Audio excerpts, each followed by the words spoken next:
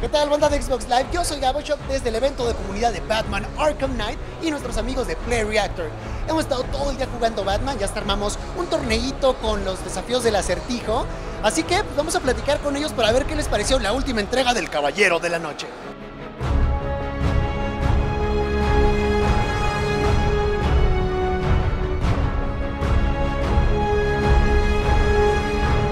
Tiene dinámicas muy, muy variadas.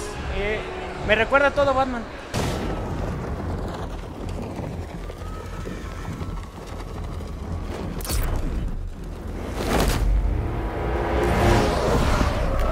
¿Ahorita ya jugaste algo de historia o...? No, no he tenido la oportunidad nada más así con el Batimóvil y nada más en parte del torneo. ¿Cómo platicar en qué acaba?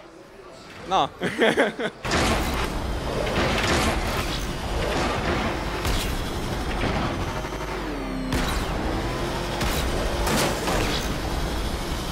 tanto en gráficos como en jugabilidad. Es un juego que te reta, pues te diviertes mucho, porque no es tan complicado realmente, nada más tienes que tener una buena estrategia.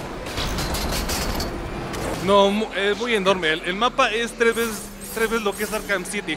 Y las gráficas realmente se, se ven muy espectacular las gráficas.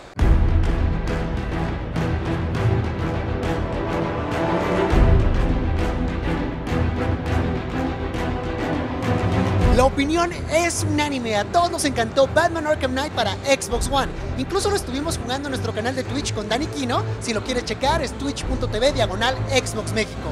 Y pues suscríbete para que no te pierdas ninguna de nuestras transmisiones. Yo soy Gabo Chop y te espero en la próxima.